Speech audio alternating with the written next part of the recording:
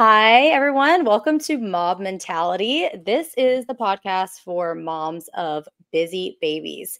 And we have Kristin Mallon with us. She is a women's longevity health expert, and she is the co founder of Femgevity. She has all kinds of awesome things to share with us today. And I am most excited to get into talking about hormones, menopause, and also how that plays a role in anxiety. If you wouldn't mind introducing yourself. So, I'm a certified nurse midwife. I've been one for almost 18 years. I have four little kids, and I've been working in women's health for even longer than that like so like 25 years and it's really my passion. I love working with women. I love working with moms and i love working with optimizing health. So that's really why i started femgevity is i really wanted to find a way to help women not just like you know in, in medicine and healthcare we have so much of sick care like are you sick? No. Okay come back next year. But i really wanted to kind of change the narrative in medicine to more about well not are you sick, but is my health optimal? Like, what can I do to make my health optimal? Like, okay, my lab values are normal, but are my lab values optimal? And so that's really why Michelle and I, my co-founder, started Femgevity is really to kind of help those women who are really seeking those questions and really kind of want a little bit more from their medical team that I think traditionally they were going to allied health professionals for, like chiropractors and nutritionists and mm-hmm. like holistic health coaches. But sometimes it's really nice to get that from medicine. Like, is my health optimal from medicine?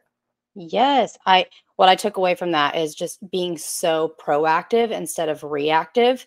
You said it's like we go in expecting when we're like when we're sick. That's the only time anyone visits the doctor. It's like how much more powerful would it be if you could go into a doctor's office and actually feel really good about the visit?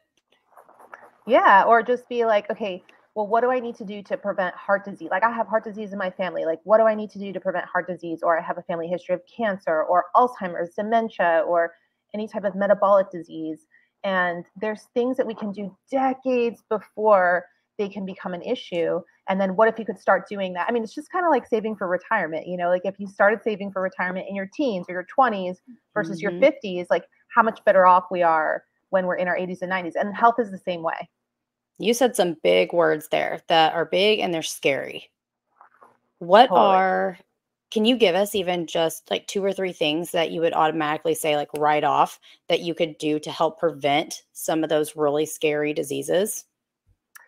So, whether it's popular or not, nobody loves this answer and everybody loves this answer, but mm-hmm. exercise. So, the answer is really exercise, exercise, exercise. So, exercise is usually like one to five times more effective than the pill for whatever disease, fill in the blank, that runs in your family health history cancer, heart disease, dementia. Mm-hmm. It's probably the number one, two, and three thing that needs to be done in order to prevent any type of catastrophic health event. And also, because people are like, well, you do longevity medicine and you do preventative medicine, but like, I don't really want to live longer. Like, my mom was in a nursing home for 10 years or 20 years or my grandma my aunt this was you know old and they didn't have a great life. And so it's not just about like prolonging health span it's also about prolonging lifespan and and living better longer. Mm-hmm. and so exercise is a hundred percent going to give you the best bang for your buck. And i think like it's hard to get that right sometimes. I think we sometimes gravitate towards certain types of exercise. Mm-hmm. And it's really like kind of a mix of all the four. I always say there's four pillars of exercise. Okay. It's really about like high intensity interval training. So, really pushing endurance. It's also about low intensity steady state. So, not going above a aerobic zone, like where your cardiac workload is really more than your aerobic capacity can handle from an oxygen perspective. And also flexibility and support, and then weights. So, some okay. people do like two out of those four really well Mm-hmm. And then mm-hmm. so it's really kind of having a well rounded approach to all four of those things. After that, it's diet. Okay. Whenever you said even exercise, I automatically like I'll raise my hand and be the first one to be like, okay, I know exactly where I'm lacking at from what you said. Yeah. Flexibility is not my thing. And I could definitely spend some more time there. So just even being able, I love that you said those four pillars and just even if you're already active, being able to look at where's the area to be better. and to improve my health even more. So thank you. Those are awesome. So nutrition, what's your thoughts there? Yeah, so this is something that we really like to do a lot of at Femgevity actually. So we do okay. a lot of types of very specific precision medicine testing. Mm-hmm. I think that we're going to look into the future and we're going to kind of look back on this time and be like, wow, can you believe that everyone was touting like this diet and that diet and South Beach and keto and you know low carb and high fat, and low fat, and without having the data to back it up that that's really what's good or best for any given individual. Mm-hmm. And so at Femgevity, we we do precision med- medicine testing to kind of find out, well, what's best for your genome and what's best for your micronutrient deficiencies in terms of how do you metabolize all different types of vitamins and mineral minerals.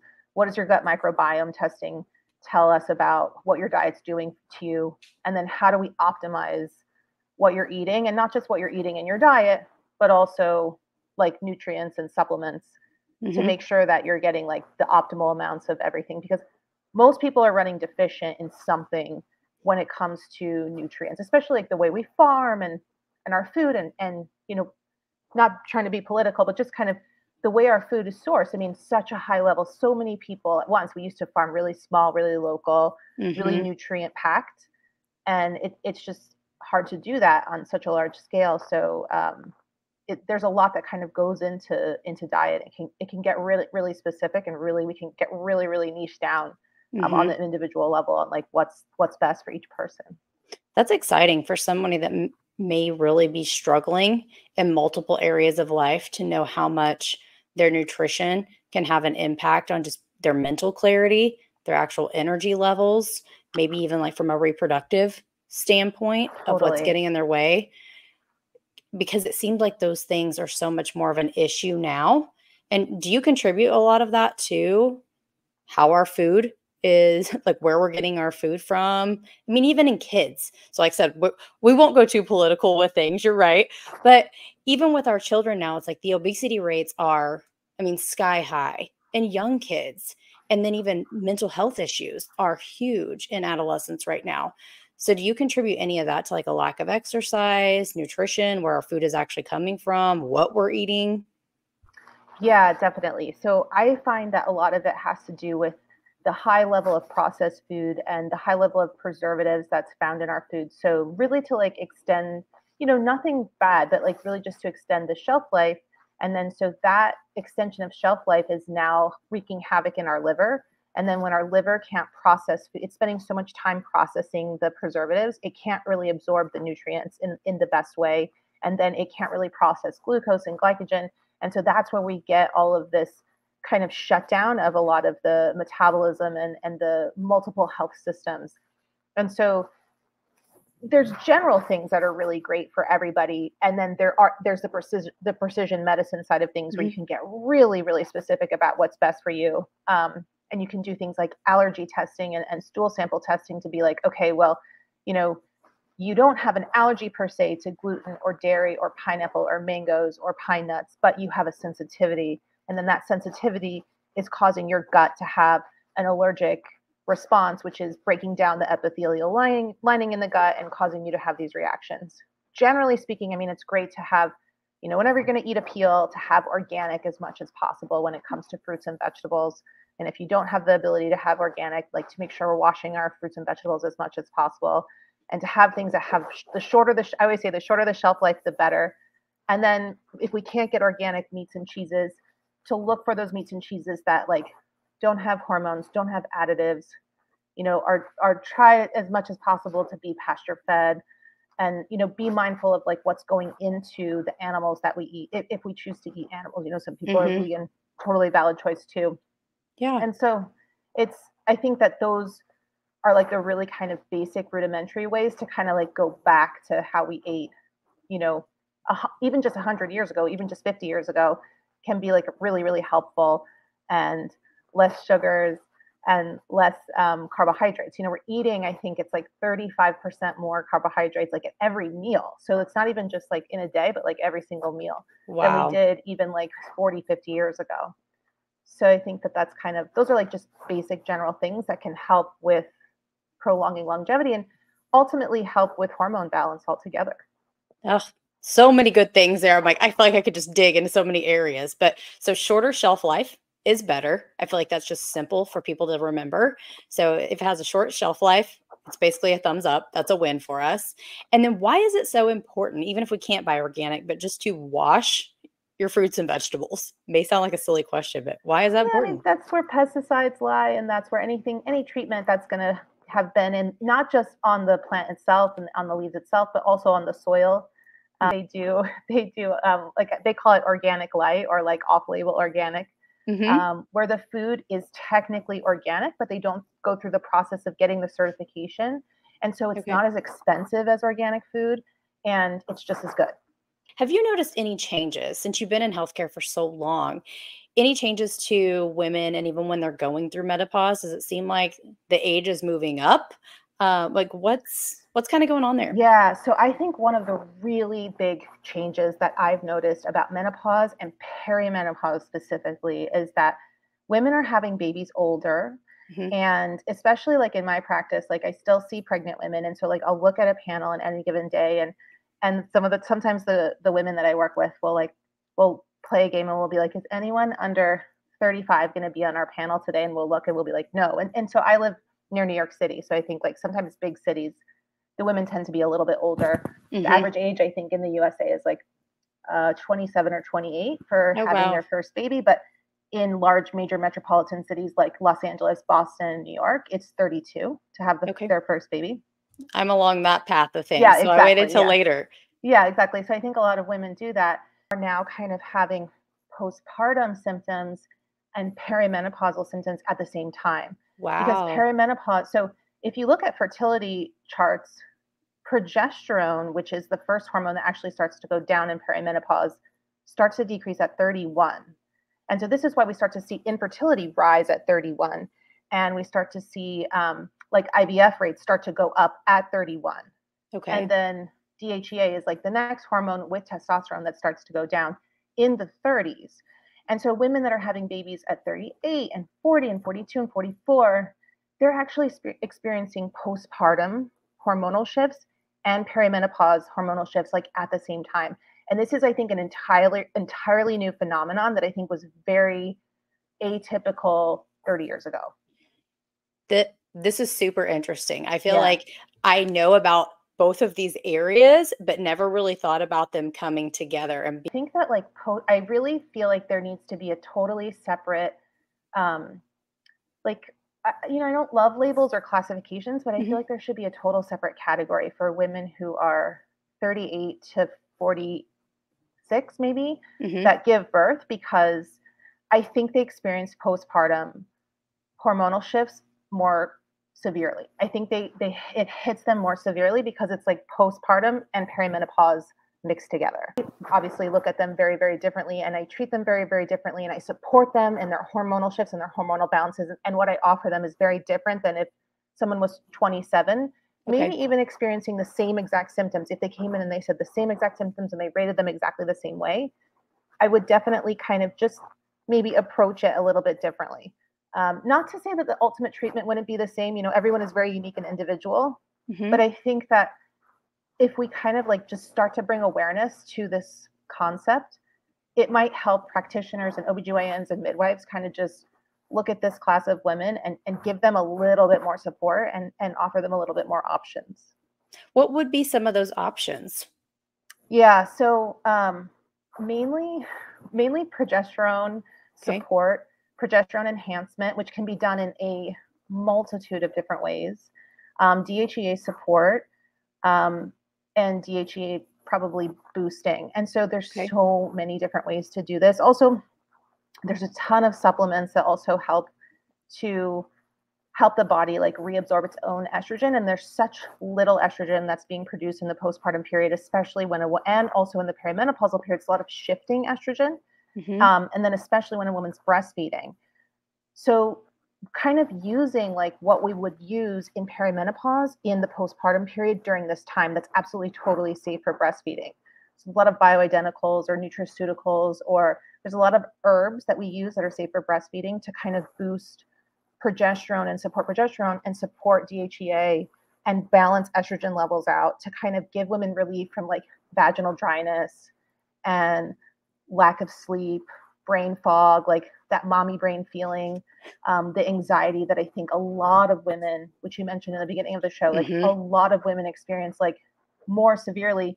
I, I find more reports, I feel, of postpartum anxiety the older a woman is when she has a baby. And I think because it's tied to perimenopause and the loss of progesterone that's happening naturally from perimenopause, um, there's so many different ways to support this balance um, from so many different sources. And usually we can find something that a woman's really comfortable with.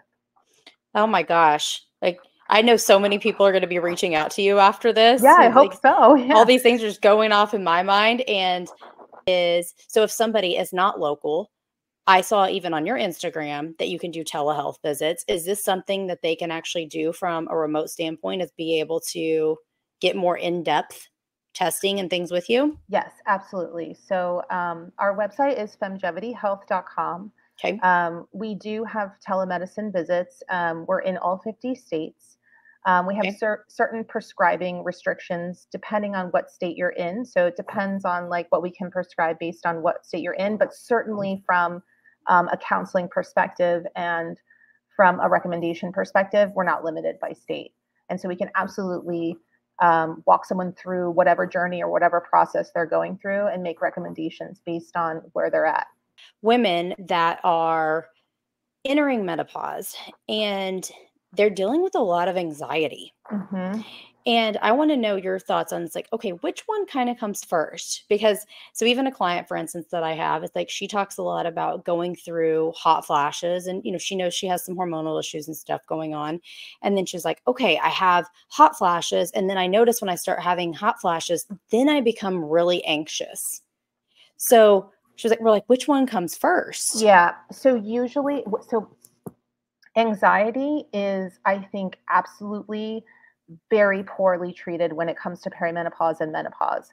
And I think that we are definitely overprescribing traditional psychotherapy and traditional pharmacologic therapy. So SSRIs and SNRIs mm-hmm. for women that are in menopause.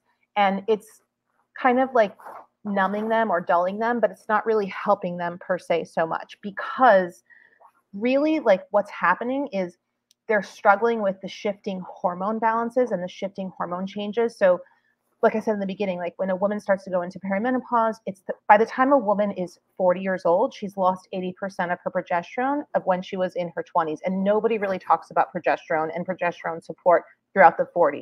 Mm-hmm. And so mm-hmm. then you're losing progesterone all throughout your 40s.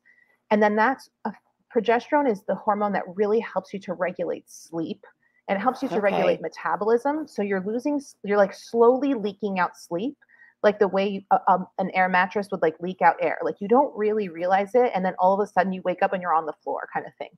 So over 10 years, you're like leaking out sleep, and then this lead this contributes to that brain fog, anxiety feeling, or that confusion feeling where like women will now get into their late 40s or 50s, and they'll be like, oh, I can't remember where I put my keys, and like oh, I walked into the room and I can't remember what I walked into the room for. And that's because for the last six or seven years, they've actually had complete sleep deprivation or deep sleep deprivation, and they didn't really know it. And then now mm. you get into your 50s, and then your estrogen starts to go down. So this is the last hormone in in all of kind of the feminine hormone cascade that starts to drop. Although this is the hormone that everybody but kind of focuses on because this is where all the symptoms kind of start. This is where the hot flashes start and okay. this is where like the night sweats start and this is where kind of like the very significant mood changes really come into play but it's mm-hmm. really accumulation of what's been happening for the last kind of like five or seven years in the perimenopause time and estrogen is really kind of going up and down like up down up down up down up down like very significant heavy swings and so without kind of leveling out estrogen and done lots of different ways you don't have to take hrt you absolutely can take hrt you can take bioidenticals, you can take nutraceuticals, you can do gut microbiome balancing. There's non-hormonal ways to balance. There's non-hormonal ways to balance estrogen, but by balancing estrogen, you're no longer having these very significant up and down estrogens, okay. and that's going to minimize that like anxiety feeling that a woman has, and, and minimize that feeling of um, of like the, the hot flashes and the anxiousness. The the great thing to do would be to supple to support and supplement that progesterone. Progesterone is very high up in the sex steroid hormone cascade, and okay. progesterone actually can produce estrogen. So when we su- when we support estrogen, so, uh, when we support progesterone, it actually can produce and balance estrogen into the the the menopausal period. So really, I think like what's happening is that like no one's been talking about menopause, no one's talking about perimenopause. Women were yo-yoed around about whether or not HRT was good for them. HRT meaning hormone replacement therapy. Mm-hmm. We were told in the 60s, femme fatale, we were going to live forever. Then we were told in 2002 it was going to cause breast cancer. Then we were told that was wrong. Then we were like, oh, go back to estrogen, it's fine. So women have been yo-yoed around. They don't really know is it good, is it not good? And practitioners have been yo-yoed around. They don't really know mm-hmm. is it good or is it not good. we so have enough yo-yoing going on in our own body. We don't need anything else. exactly, we need some answers. Exactly. So um, unless you have an expert like myself or somebody who's actually taken the time to become a menopausal or a perimenopausal expert and understand like what is the truth like what does the science say and that's the thing about what i love about science is science is very good at, at proving us wrong because it, it leads you to the empirical truth mm-hmm. unless you have someone telling you exactly what the truth is you, you don't really know like what should i do what should i not do so because there's been no one to really kind of educate us about how to manage our 40s hormonally we're left suffering with anxiety and night sweats and hot flashes and and kind of this very like lost time in our 50s and that's really what we're working to solve Femgevity Health. I'm so glad that you're working to solve that because even as you're talking, I'm like, oh my gosh, this is a lot. Like being a woman is hard. Yeah. like there's a lot that goes on yeah. in our bodies, and there's so much for us to understand. And I believe so many people just do not have the awareness on what all is actually happening in our body and the steps that we can take to live. You said even optimally, like live more comfortably in our own skin and how that would change our relationship so much our relationship with ourselves, our relationships with our families, the people that we care most about. Because I know when I'm at a heightened sense of anxiety and not feeling well, I am certainly not the best for anybody else in my household. Yeah, absolutely. Yeah. And, and a lot of it is coming from what's happening to the brain for the years in our 40s um, because of the loss of DHEA, testosterone, progesterone. That's, you know, very unobserved. I mean, when you look at any other hormone imbalance or hormone, like, for example, diabetes. So okay. a lot of times people who are diabetic, they have no idea their sugars could be 400 and they have no idea until they go to the doctor. And the same thing is happening here with women. Women's hormones are very abnormal. They're in very, very abnormal zones, like abnormally high or abnormally low. Like with estrogen, estrogen can be very abnormally high and low, like very erratic. And mm-hmm. progesterone, DHEA, testosterone can be very, very, very low. And women don't really realize it until symptoms start. And it's been going, it's a chronic condition that's been going on for usually many, many, many, many years. And then that condition is what leads to the, the buildup in the brain and then ultimately all these symptoms of the insomnia the brain fog the anxiety the depression the confusion and the even rage. There's so many symptoms that come from this time in a woman's life for sure. And it really should i really believe it should be treated with hormonal support. Is there anything that we can do to help balance our hormones that's even not I know you said there's different like herbs and things that we can do. Like, what's something that somebody could go and take action with and like either incorporate more into their day, even like specifically certain things with nutrition um, and even outside of exercise that you would recommend that would help us feel more regulated? Yeah. So, one of the things like when women are like, I don't want to take anything hormonally, like, I really don't want to do anything that's like, I want what's natural. Um, so one of the things that I recommend is gut microbiome balancing. So by balancing the gut microbiome, this is really like the best way to land naturally. So natural is to let all your hormones go down to zero and to age and to, to get wrinkles and to lose sexual libido. And that's natural. And death is natural. And these are all natural things. And some mm-hmm. women, that is the path they want to choose. And that is an absolutely totally valid choice and a valid path.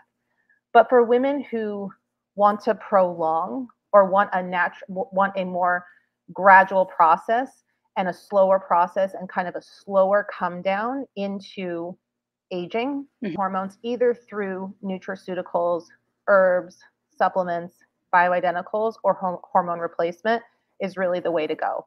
But if you okay. want to avoid all of that, gut microbiome balancing is going to give you the cleanest and clearest way for your body to kind of do it in a way that is kind of like you know like a like a plumbing that has no clogs like or a like a tube like a like an artery that has no blocks mm-hmm. and it's going to be kind of like the gentlest come down that's the most natural where's the places that our listeners can connect with you yeah so definitely on femgevityhealth.com um, okay they can always email us at hello at femgevityhealth.com. And we're on all the social media channels um, on Instagram at Femgevity, Facebook at Femgevity, um, TikTok at Femgevity, LinkedIn at Femgevity. I mean, we're really pretty much everywhere that we possibly can be.